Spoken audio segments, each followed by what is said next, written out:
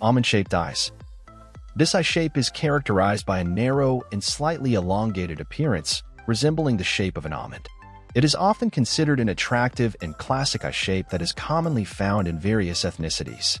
Round eyes. Round eyes are characterized by a circular shape. They give a youthful and innocent appearance.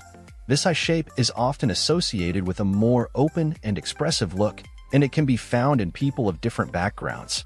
Hooded eyes. Hooded eyes have a fold of skin that partially covers the eyelid, making the lid appear smaller. This eye shape can give a mysterious and alluring look. Makeup techniques for hooded eyes often focus on enhancing the visible lid space. Upturned eyes. Upturned eyes have a natural upward lift at the outer corners. This eye shape imparts a cheerful and optimistic appearance. The upward tilt can create the illusion of larger eyes and is often considered an attractive feature. Downturned eyes. Downturned eyes slope downward at the outer corners, giving a more subdued and sometimes contemplative look. Makeup techniques for downturned eyes may focus on lifting the outer corners to create a more uplifted appearance. Monolid eyes.